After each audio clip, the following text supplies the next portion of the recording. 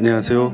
미디어 아티스트 이남 작가입니다. 저는 모든 작품 앞에 관람자가 5분간 머물며 작품을 감상하면 좋겠다는 생각을 합니다. 저는 예술가의 관람객이 예술 작품을 통해 공감할 수 있는 요소가 반드시 필요하다고 생각합니다. 그 매개를 고전과 영화에서 찾아보고 싶었습니다.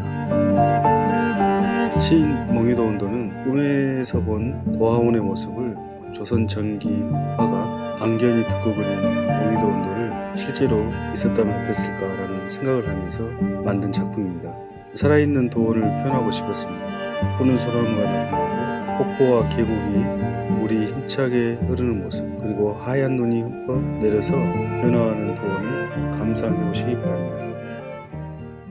2009년 작품인 겸재정성과 서양입니다. 동양의 상수와 서양의 근대와 모두 동일하게 자신을 바라보고 산이 중첩되고 서로 담아내는 작품을 표현해 봤습니다. 겸재와 세잔이 다른 시간과 공간에서 있었지만 작품을 통해서 만나고 스며드는 모습을 보면 우리들도 서로에게 연결되고 함께 살아가고 있음을 느껴보시기 바랍니다. 2009년 작품인 신단발령 망릉왕은 겸재성선이 그린 풍악도첩의 가장 첫 번째 그림 단발령 망금강을 차용한 작품입니다.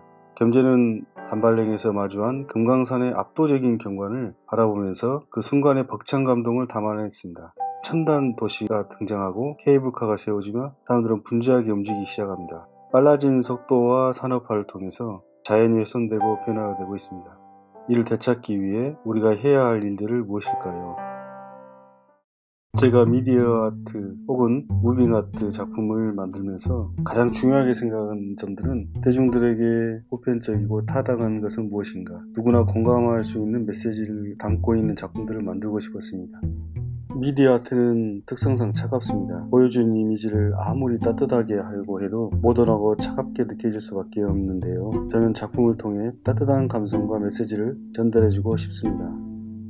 저는 어릴 적부터 근원적인 문제에 대해 고민이 많았습니다. 그 당시 시골에 자랐던 경험들이 창작의 뿌리가 되었습니다. 동양의화와 수목이 가지고 있는 손때묻은 흔적들이 미디어아트로 재해석되고 그때의 느낌, 원본이 가지고 있는 대중성에 저의 회화적 감성을 더하고 싶었습니다. 이를 통해 새로운 누군가에게 메시지를 전달하고 싶었거든요. 누구나 아는 명화를 통해 공감을 이끌어내는 것.